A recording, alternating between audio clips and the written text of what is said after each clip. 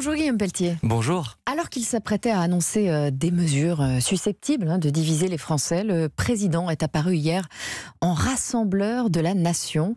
L'avez-vous trouvé crédible dans le rôle? Oui. Je trouve qu'Emmanuel Macron a su trouver, euh, à travers ses mots et son attitude, la, la digne gravité que le drame commandait. Il a su tracer une perspective, d'une part, en acceptant le principe d'union nationale pendant quelques jours.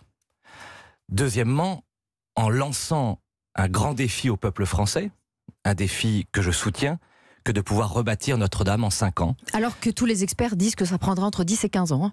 C'est la force, normalement, du chef de l'État et de la politique que de transcender les expertises et de tracer des défis qui paraissent aujourd'hui inatteignables, mais avec une mobilisation profonde du peuple français que nous pouvons euh, réaliser. Si euh, Emmanuel Macron a différé donc euh, ses annonces, est-ce parce qu'il souhaite profiter de cette vague d'émotions pour retarder au maximum le moment de vérité?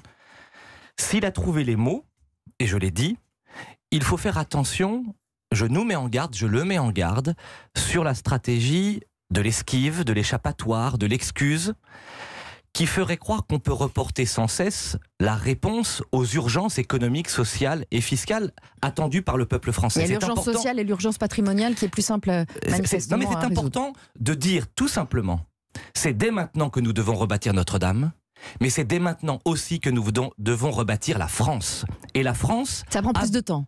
ça, bah, ça prend plus de temps, c'est pour ça qu'il ne faut pas reporter. Et nous attendons dans les jours qui viennent qu'il trace aussi des perspectives en ce domaine.